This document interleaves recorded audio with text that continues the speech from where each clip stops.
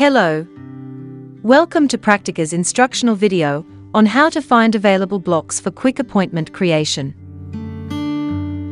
This video will cover the use of the searching interface to find available appointment blocks in the Praktika scheduler.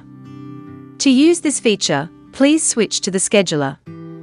The scheduler must be in the appointment mode to be able to search blocks and create appointments.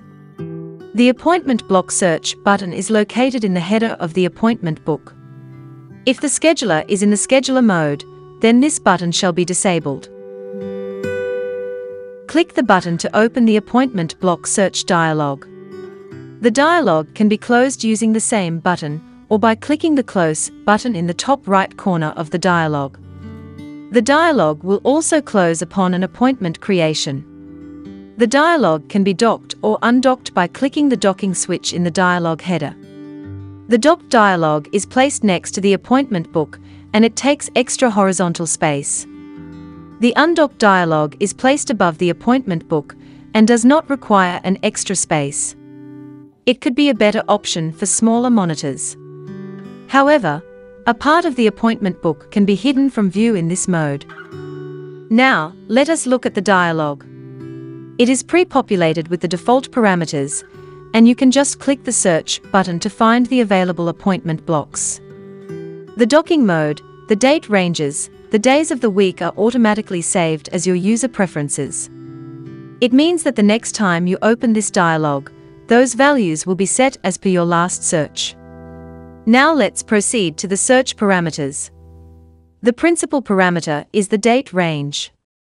You can specify the date range of your search either by using a quick period selector or by selecting the actual dates. Please mind that the search can only be made for the future dates. Next, you can limit your search to specific days of the week. It is followed by the time of the day. You can use the quick range selectors, morning, afternoon and evening, or you can enter the actual time range using the provided selectors.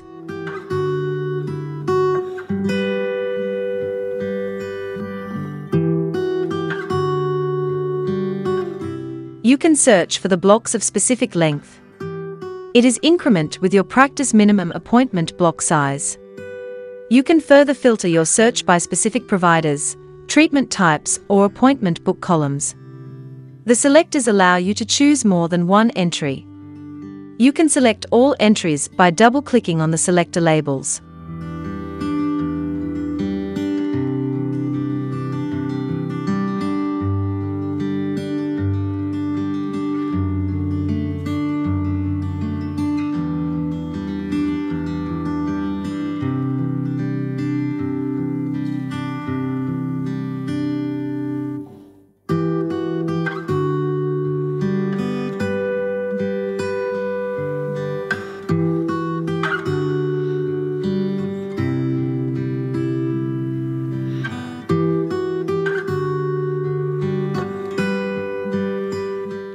The patient selector is optional and is handy if you need to create an appointment with a particular patient. Let us now click the search button and see the results of our search. We are now trying to find available appointment blocks of 45 minutes, in the morning between 8 and 12, for the next three days, for Dr. Simon Waltersong and Dr. Brian Lemecki, in any column, and with any treatment type.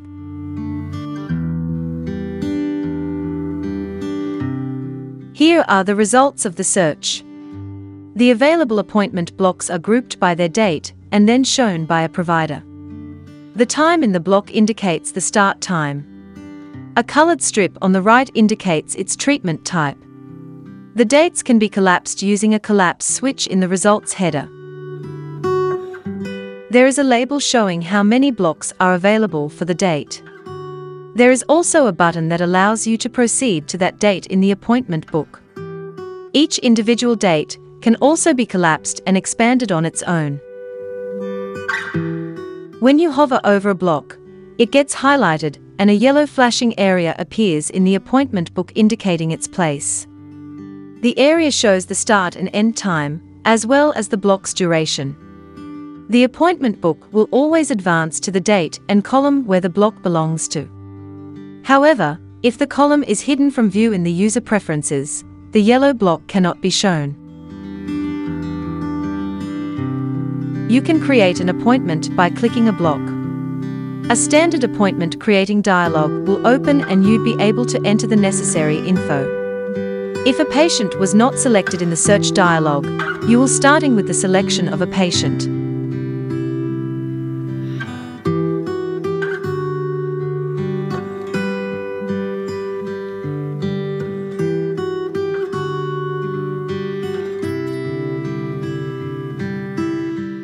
However, you can pre-select a patient by clicking the Select a Patient button in the search dialog. You can perform a search or use the Show Last Searched Patient button to select one of the recently searched patients. This time, when you create an appointment, the patient's details are already entered.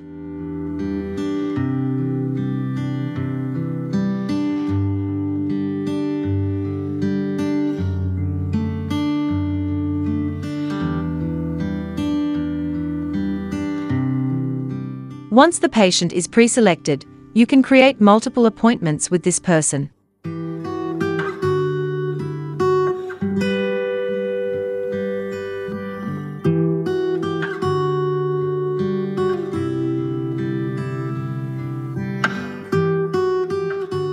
You can set up the icons, appointment notes, treatment types, etc.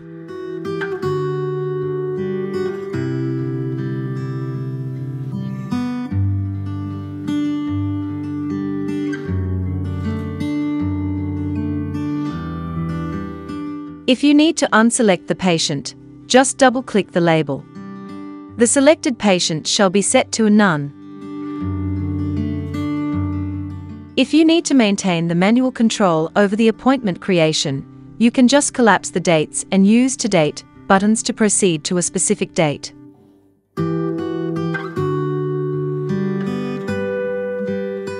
Then you can create the appointments in that day as you normally would by clicking and dragging in the appointment book.